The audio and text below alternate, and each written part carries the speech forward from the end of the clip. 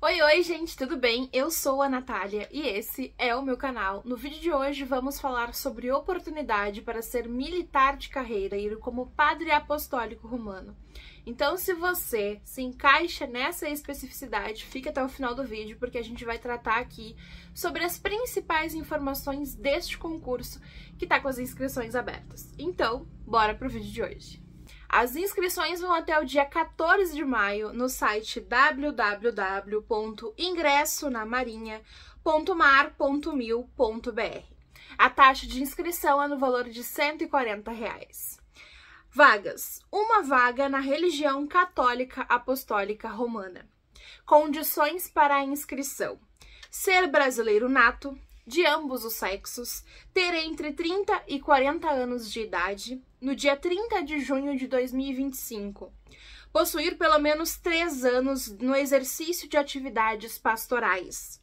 Possuir idoneidade moral. Estar em dia com as obrigações do serviço militar obrigatório e da justiça eleitoral.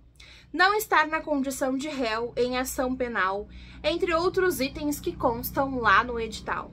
Etapas do concurso: prova objetiva de conhecimentos profissionais e redação, que serão aplicados no dia 30 de junho.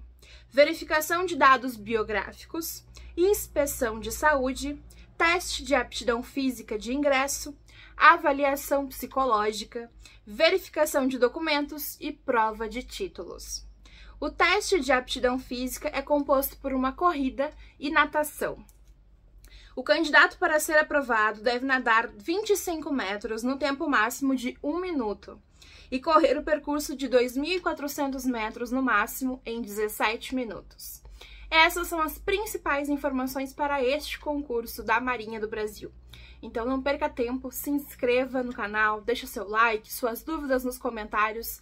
Lembrando que aqui na descrição do vídeo você vai encontrar o, o link direto para o edital e também para as inscrições. Então, super simples, super prático e você consegue realizar a sua inscrição e se inteirar ainda mais deste edital.